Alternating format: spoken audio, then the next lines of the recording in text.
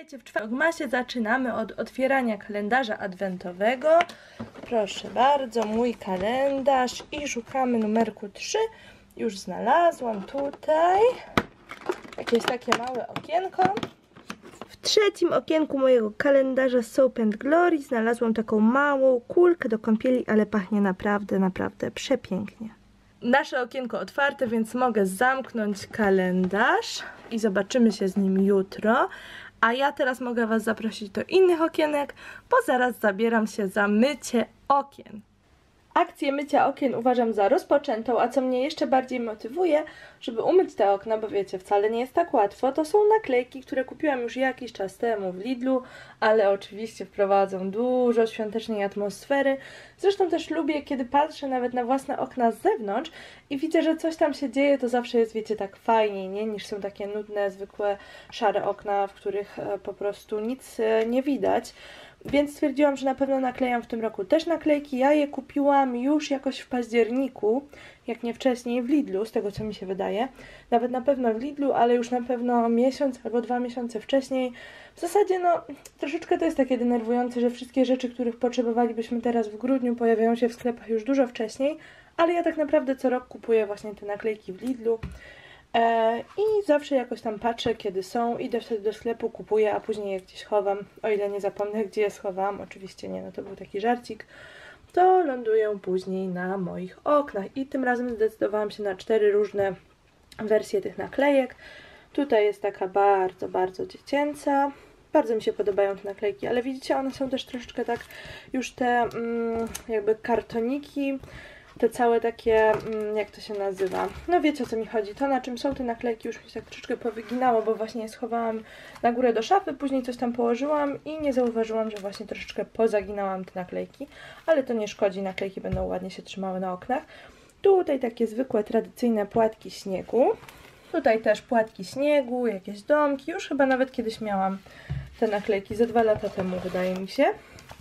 No i jeszcze takie kolorowe Mikołaje. Oczywiście mi najbardziej podobają się te szaro-niebieskie naklejki, srebrno-niebieskie w zasadzie, no ale wiadomo, jak się ma dzieci, to coś kolorowego też się musi pojawić, nie można wszystkiego tylko robić w kolorach szarości, złota, czerwieni, tylko trzeba też dodać troszeczkę koloru tym świętom, dlatego ja się biorę za mycie okien, później przyklejam naklejki i będę mogła wreszcie też powiesić jakieś światełka w oknach, także będzie już naprawdę, naprawdę dużo bardziej świątecznie jedno okno umyte i nie mogłam się oprzeć, od razu musiałam ponaklejać te naklejki. I ponaklejałam je właśnie tak przy krawędziach, tak jak widzicie, chociaż nie pokażę Wam wszystkich, bo za oknem chodzą ludzie i też nie chciałabym nikogo uwiecznić na tym filmie, sama też bym chyba nie chciała być nagrywana przez kogoś, tak wiecie, nie wiedząc o tym, dlatego też nie będę nikogo nagrywać. No i mogę Wam pokazać tylko kilka naklejek, ale właśnie po pierwsze pomieszałam te wszystkie e, miksy naklejek. Widzicie, tutaj jest trochę gwiazdek z jednego, Mikołaj z jednego zestawu, tutaj Mikołaj z drugiego zestawu.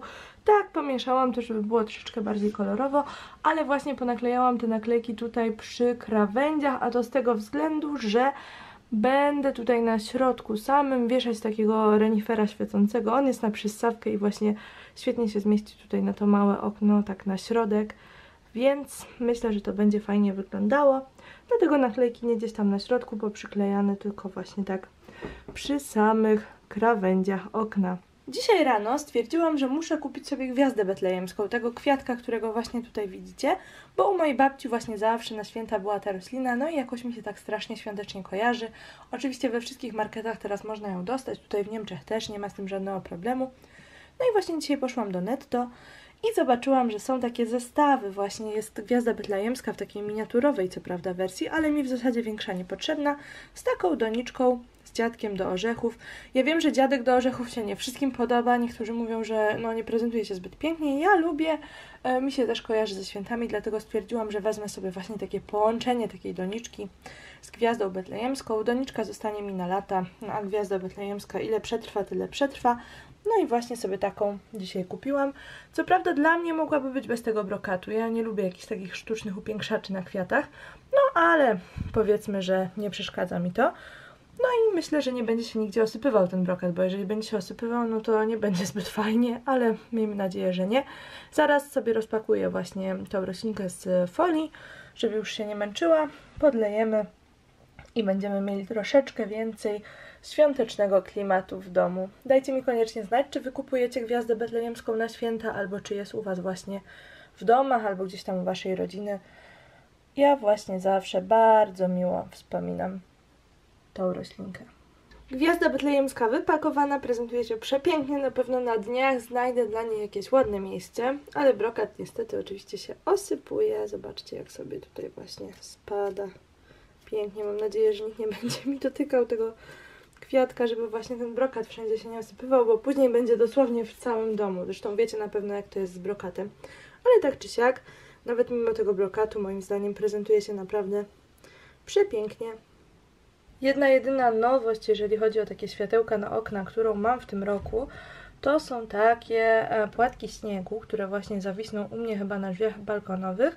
I kupiłam to w netto już też miesiąc albo dwa miesiące temu, na pewno dużo wcześniej, no ale sami wiecie jak to jest z tymi świątecznymi produktami właśnie przed świętami. Nie ma jej w grudniu, tylko zazwyczaj właśnie na początku listopada, czy gdzieś tam w październiku. No i jak się chce mieć coś fajnego, to trzeba kupować właśnie już wcześniej, bo później już nic nie ma, albo jest wszystko przebrane, przynajmniej tutaj u nas tak jest. No i będzie się to trzymać wszystko na przyssawkach. Jestem bardzo ciekawa, czy właśnie przyssawki utrzymają te płatki śniegu. Wiadomo, to jest tylko jakiś taki plastik, ale wcale nie wydaje się to być jakieś e, bardzo lekkie. Co mnie cieszy, to jest to na baterię, więc nie będzie trzeba nigdzie szukać kontaktu, tylko po prostu baterię włożę i będzie mi fajnie świecić. No i co mi się podoba jeszcze, to to, że jest to właśnie zimny odcień tego światła. Będą takie biały, e, zimny odcień czyli pewnie będzie wyglądał to troszeczkę niebieskawo.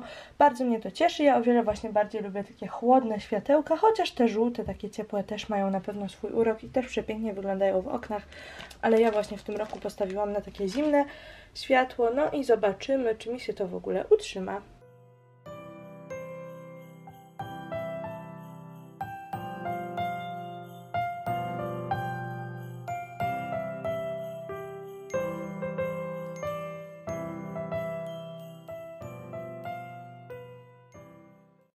Wszystkie okna pomyte, naklejki ponaklejane, światełka pozawieszane, także gdzieś tam w każdym oknie coś mi się świeci. I zobaczcie, tutaj mi się trzymają przepięknie te moje światełka w kształcie płatków śniegu, a bałam się, że tak naprawdę będą spadać, no bo jednak są dosyć ciężkie, ale tych przystawek jest sporo, więc nie ma żadnego problemu, także jak najbardziej na plus. Bardzo się cieszę. Wyglądają przepięknie, zaraz zgaszę światło i Wam pokażę. Chciałam pierwotnie je właśnie powiesić e, na szybie od drzwi balkonowych, ale niestety zapomniałam, że te światełka są na baterię. No i to by się nie udało, bo wtedy ten włącznik razem z tymi bateriami by wisiał tak po prostu sobie. No i tutaj właśnie jest ten włącznik razem z bateriami, to jest dosyć ciężkie i gdyby tak mi to wisiało na drzwiach balkonowych i by zwisało, no to głupio by wyglądało, a tak kładę to na parapet i nie ma żadnego problemu.